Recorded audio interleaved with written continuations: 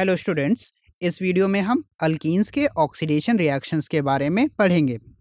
तो different different reagents के presence में alkenes different different product form करते हैं। एग्ज़ाम्पल के लिए अगर हम अल्कीन को बेयर रिएजेंट के साथ ट्रीट करते हैं।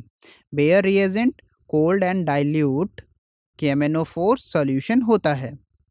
तो अगर हम अल्कीन को केमेनोफोर के साथ कोल्ड कंडीशन में ट्रीट करते हैं तो यह ऑक्सीडाइज्ड होकर हमें vicinal glycol as a product देते हैं। विसिनल ग्लाइकॉल से मतलब है कि एडजेसेंट कार्बन एटम्स पर ओ OH ग्रुप्स लगे होंगे। इस केस में ओ OH ग्रुप का एडिशन एक तरह से सिन एडिशन होता है, यानी कि दोनों O OH group same direction से अटैच होते हैं। वहीं एग्ज़ाम्पल के लिए, अगर हम इथीन की reaction cold and dilute K M N O four के साथ कराते हैं तो यह हमें इथेन वन टू डाईऑल या फिर कहें ग्लाइकॉल एज अ प्रोडक्ट देता है। वहीं अगर हम प्रोपीन की reaction cold and dilute K M N O four के साथ कराएँ तो यह हमें propane one two diol as a product देगा। यहाँ पर आप हमेशा ध्यान रखिएगा कि दोनों O OH group same direction से लगेंगे। यानी कि या तो दोनों ओ OH ग्रुप प्लेन से बाहर की तरफ़ से आते हुए होंगे या फिर दोनों प्लेन से अंदर की तरफ़ होंगे, जैसा कि यहाँ पर हमने दिखा रखा है। इस रिएक्शन का एक एडवांटेज यह भी होता है कि इसे हम ऑर्गेनिक कंपाउंड में अनसेचुरेशन या फिर कहें पाई बॉन्ड के टेस्ट के लिए भी यूज़ कर सकते हैं। तो अगर यहाँ पर केमेनोफोर ऑक्सीडाइज होकर अपना कलर चेंज करता है, जिससे कि हम अनसेचुरेशन का टेस्ट करते हैं।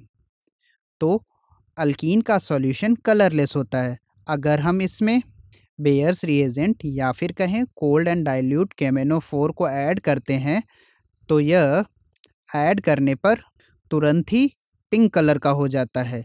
लेकिन कुछ समय के बाद पिंक कलर डिसपियर हो जाता है। ऐसा इसलिए होता है क्योंकि के एम एन ओ फोर यहाँ पर रिड्यूस हो जाता है और एम एन ओ टू बनाता है, जिससे कि K M N O four का पिंक कलर डिसपियर हो जाता है। वहीं अगर हम अल्कीन की रिएक्शन कंसनट्रेटेड और hot K M N O four के साथ कराते हैं तो ये कार्बन कार्बन के बीच के डबल बॉन्ड को ब्रेक कर कर हमें carboxylic acid as a product देते हैं। जैसा कि आप यहाँ पर देख सकते हैं कि ब्यूटीन की कैमेनो फोर के साथ रिएक्शन कराने पर हमें इथेनोइक एसिड के दो मॉलिक्यूल मिलते हैं।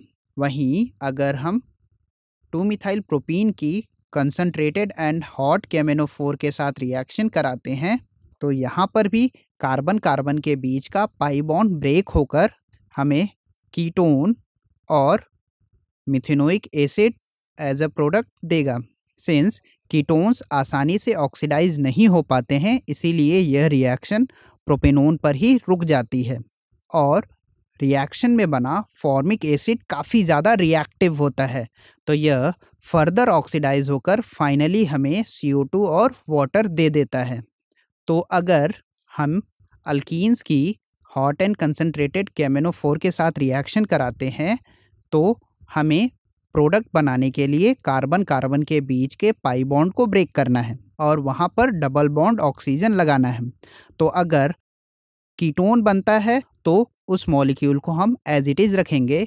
अगर अल्डिहाइड बनता है तो उसे फर्दर ऑक्सीडाइज करके हम कार्बोक्सिलिक एसिड फॉर्म कराएँगे। और अगर रिएक्शन में फॉर्मिक एसिड बन रहा है तो वह फर्दर ऑक्सीडाइज होकर हमें CO2 और वाटर मॉलिक्यूल देगा। आई होप आप अल्कीन्स की ऑक्सीडेशन रिएक्शन को समझ गए होंगे।